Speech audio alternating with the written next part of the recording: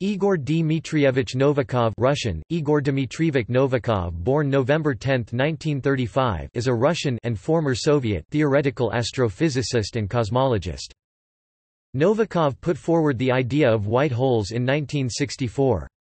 He also formulated the Novikov self-consistency principle in the mid-1980s, a contribution to the theory of time travel. Biography Novikov gained his PhD degree in astrophysics in 1965 and the Russian DSc, degree in astrophysics in 1970. From 1974 to 1990 he was head of the Department of Relativistic Astrophysics at the Russian Space Research Institute in Moscow. Before 1991 he was head of the Department of Theoretical Astrophysics at the Lebedev Physical Institute in Moscow and has been professor at Moscow State University.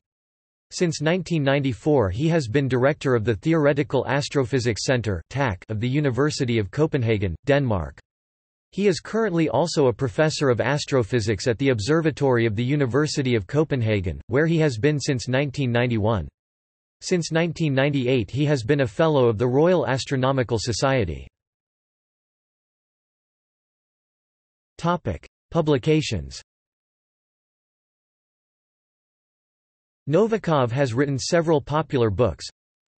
Black Holes and the Universe translated by Vitaly I. Kisin, Cambridge University Press 1995. The River of Time translated by Vitaly I. Kisin, Cambridge University Press 1998, 2001 Il ritmo del tempo The Rhythm of Time, Di Renzo Editore, Roma, 2006 He has authored or co-authored 15 books on cosmology and astrophysics, and wrote, with Alexander S. Sharov, a biography of Edwin Hubble, E. Hubble, Life and Work Cambridge University Press 1992.